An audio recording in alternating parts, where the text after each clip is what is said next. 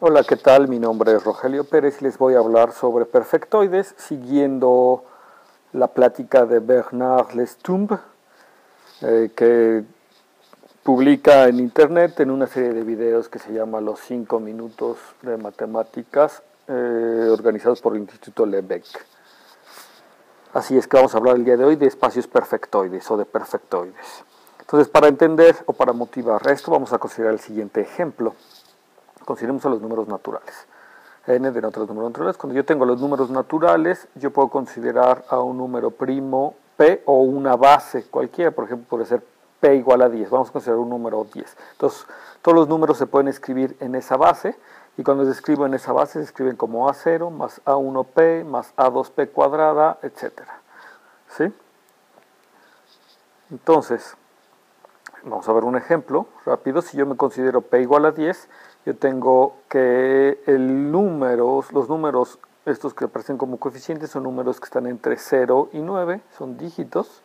Y así el número 135 en base 10, en realidad lo que estoy diciendo es que se escribe como 5 más 3 por 10 más 1 por 10 al cuadrado. Y en este caso, eh, eh, esta es la, la notación desarrollada, digamos, del 135 que está en base 10 pero como yo les digo, nosotros estamos interesados en el caso en que la base sea un número primo, porque tiene sus ventajas, nos permiten trabajar en campos y campos peádicos, etc. Entonces vamos a considerar P un número primo. Si yo considero P un número primo, entonces mis coeficientes van a estar entre 1 y P menos 1. De hecho, yo los voy a considerar sobre el campo finito con P elementos, pero de entrada vamos a pensar nada más que son mis coeficientes entre 1 y P menos 1. Entonces vamos a hacer un ejemplo concreto con P igual a 5. Entonces me tomo el primo P igual a 5 y me escribo el 132, pero ahora en base 5. Entonces escribo con un paréntesis abajo el, 5, que quiere decir que es el 132, pero en base 5. ¿Quién es el 132 en base 5? Pues esto me dice que tengo dos unidades más 3 por 5, que es el 5 ahora está jugando el, el papel de las decenas, más una vez el 5 al cuadrado, que estaría jugando el, el papel de las centenas en el caso de P igual a 10. Entonces 132 en base 5 es 2 más 3 por 5 más 1 por 5 al cuadrado. Y este número en base 10 es igual al 42, o sea, términos normales. Ok, entonces de el otro lado del, del, pizarrón tenemos o queremos considerar a los polinomios. En cierto sentido los polinomios se comportan de una manera muy parecida a lo que hicimos en el lado izquierdo del pizarrón, o a los, a los naturales o a los enteros. Entonces consideramos un polinomio en la variable t, que es un polinomio en la variable t, pues es una expresión de la forma a0 más a1 por t más a2t cuadrada más etcétera a n a, a la n. Si se fijan aquí la analogía está en que eh, t, este t que tenemos aquí funciona en cierto sentido como la variable p. Entonces el t que yo tengo aquí funciona como la variable p que yo tengo de este lado. Bien, aquí para que la analogía sea completa, entonces yo necesitaría considerar los coeficientes de mi polinomio entre 0 y p menos 1. ¿Eso qué quiere decir? Que los estoy considerando en el campo finito con p elementos. Así yo estoy considerando polinomios con coeficientes en un campo finito con p elementos, en fp, en la variable t. ¿Ok? Entonces, es la analogía con lo que teníamos anterior. Vamos a ver un ejemplo. Entonces, vamos a considerar como un ejemplo el primo número p igual a 5 y el polinomio 2 más 3t más 1 veces t cuadrada, que es, se corresponde claramente a lo que está en el lado izquierdo, ¿no? En el caso de los naturales. Bien. Eh, si yo quiero hacer la suma de polinomios, es muy fácil porque sumo, digamos, unidades con unidades o potencias o, o este, coeficientes que corresponden exactamente a las mismas potencias. Como estoy en el campo con 5 elementos, pues la suma se tiene que ser módulo 5. Así si yo sumo a mi polinomio 2 más 3t más t cuadrado del polinomio 1 más t, pues obtengo el polinomio 3 más 4t más una vez t cuadrada, porque es 2 más 1 igual a 3. 2 más 1 igual a 3, ¿verdad? Luego 3 más 1 igual a 4 y luego 1 más 1 1 más 0 igual a 1t cuadrado. Entonces la suma en los polinomios es muy sencilla porque se suma, digamos, coeficiente a coeficiente. Esto ya no sucede, sin embargo, del otro lado, del lado de los números naturales. Cuando yo estoy eh, trabajando en los polinomios, incluso quiero recalcar esto de que la suma módulo 5, porque estoy trabajando en el campo finito con, con 5 elementos, si yo cambio el polinomio de abajo, en vez de ser 1 más t, que es el polinomio 4 más t, vamos a ver qué es lo que sucede. 2 más 4 es igual a 6, pero 6 módulo 5 es 1, así que la suma le corresponde aquí el 1, porque 2 más 4 es 6, es 1. Entonces, ahora sí, vamos al lado de los, de los naturales, al otro lado del pizarrón, para ver qué es lo que está pasando. Ahora, yo quisiera sumar el número en base 5, que es el 14 en base 5. El 14 en base 5 es 4 más una veces el 5. Si yo quiero hacer la suma de estos dos números en base 5, pues lo que tengo que hacer es primero 4 más 2 es 6, pero 6 es igual a 1 módulo 5, entonces ya llevo 1, pero tengo que considerar, considerar lo que llevo. Llevo una unidad. Entonces aquí consideramos la unidad, ¿verdad? Esa que llevo aquí.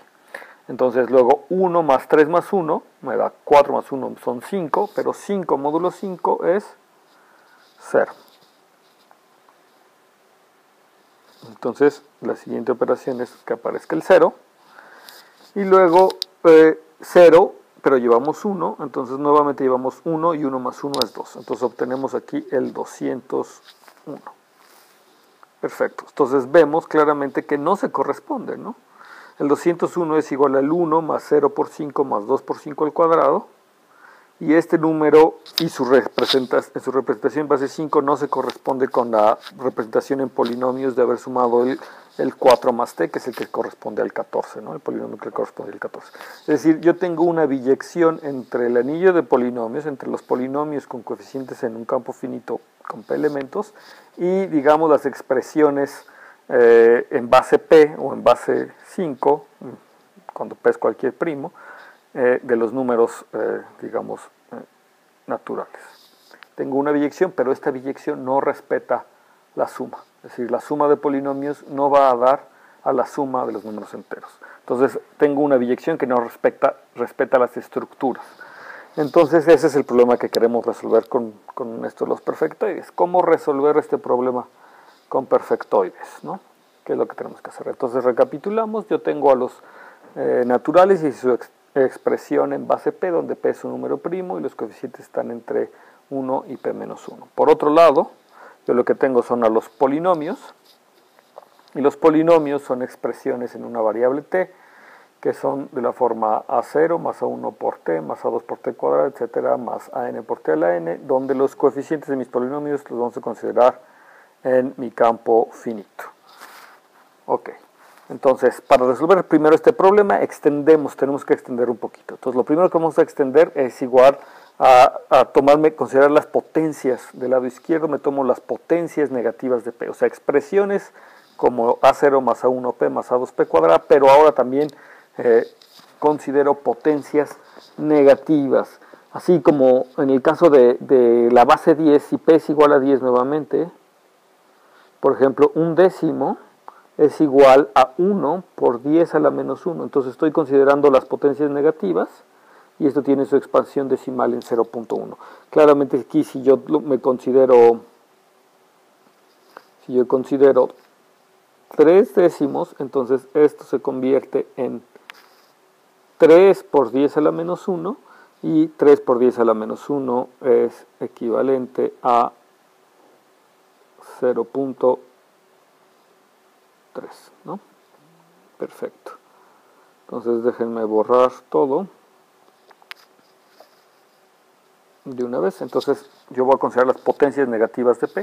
Si considero las potencias negativas de P, entonces lo que sigue, su contraparte en el área, en el lado de los polinomios, es considerar las potencias negativas de T. Y eso es simplemente considerar el anillo de polinomios en la variable t y en la variable t menos 1. Entonces nuevamente aquí tengo polinomios en t menos 1. Por ejemplo, aquí está el polinomio 1 sobre t, ¿no? Pertenecería a este, a este anillo que tenemos ahí. Perfecto. ¿Qué sigue? Pues todavía no tenemos una equivalencia, pero lo que puedo hacer es completar. Si yo completo, yo tengo una manera de medir distancias en este dp, digamos, yo tengo una manera de medir una tengo una topología, entonces yo puedo completar respecto a esa topología que se llama la topología peádica.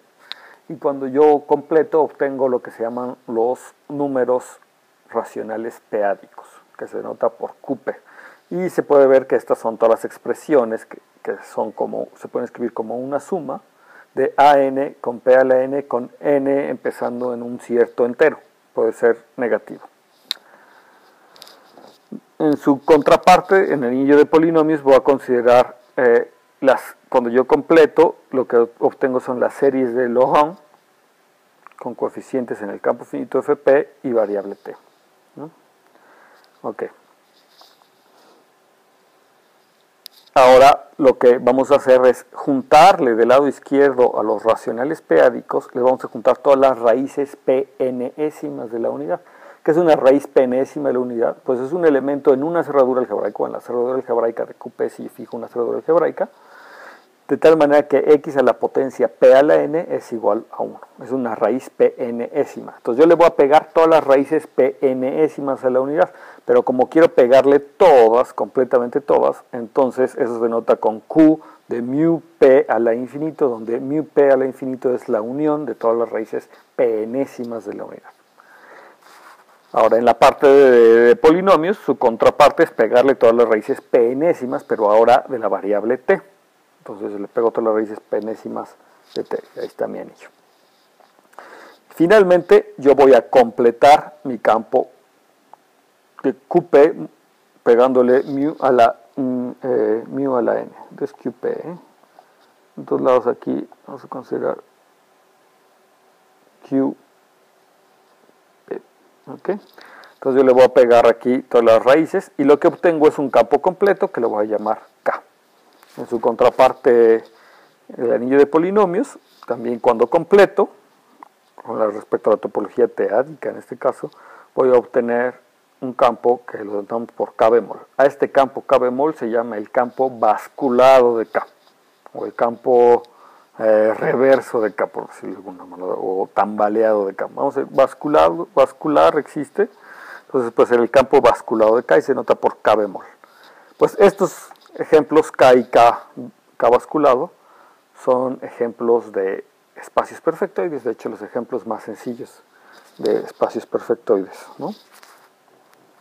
Son unos campos perfectoides.